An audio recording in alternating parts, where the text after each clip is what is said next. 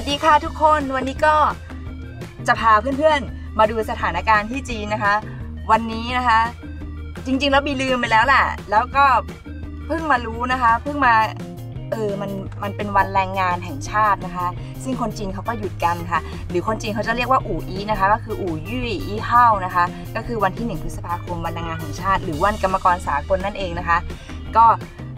คนเยอะมาก เดี๋ยวพี่จะพาเพื่อนๆออกไปดูสถานการณ์ข้างนอกกันนะคะว่า ว่าวันหยุดแรงงานที่ประเทศจีนเนี่ยคนเขาเยอะมากเลยนะคะ ทุกคนหยุดหมดนะคะ เพราะว่ามันมันเป็นเหมือนวันพาครอบครัวไปเที่ยวเลยอะแล้วเขาหยุดยาวด้วยนะเขาหยุดแบบ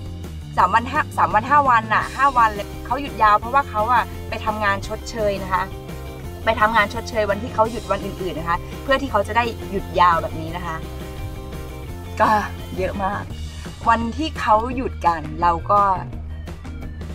หยุดเหมือนกันนะคะหยุดอยู่ในรถนะคะ เราอยากหนีจากความวุ่นวายนะคะเขาหยุดกันเพื่อไปเที่ยวนะคะ แต่เราเราหยุดเพื่อที่จะหยุดอยู่เฉยๆเลยนะคะ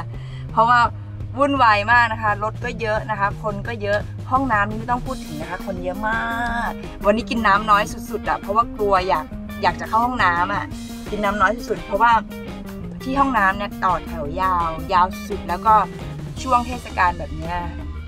ช่วงวันหยุดแบบนี้หยุดยาวแบบนี้ห้องน้ำแบบนี้ก็จะไม่ค่อยไม่ค่อยสะอาดนะคะ แต่คือปกติสะอาดแหละ แต่ด้วยความที่คนเข้ากันเยอะนะคะ มันก็เลยสกปรกหน่อยนะคะ แต่ก็ยังดีก็ยังดีนะคะ เพราะว่าที่ที่จุดพักรถที่เนี่ยนะคะ มีพนักงานทำความสะอาดดูแลตลอดนะคะ ก็ไม่ได้สกปรกมาก ก็ถือว่าใช้ได้ แล้วเดี๋ยวเราจะพาเพื่อนๆออกไปดูสถานการณ์ข้างนอกกันว่าเฮ้ย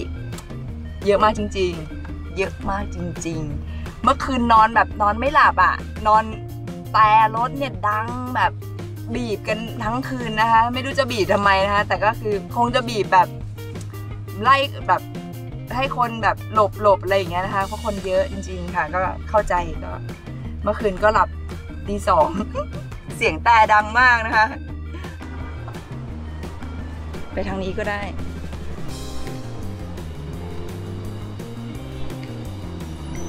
รถเยอะมากนะทุกคน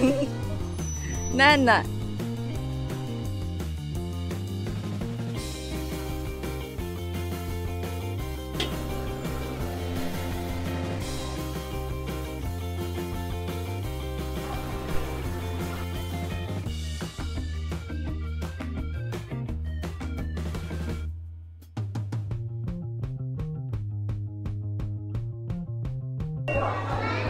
แน่นไหมทุกคน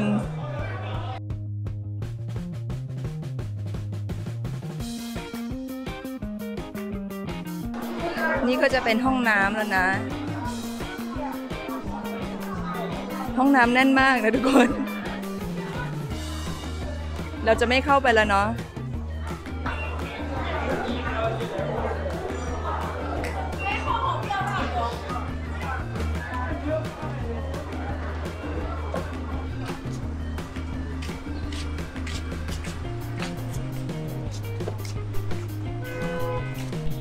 เราก็จะกลับไปที่รถแล้วนะ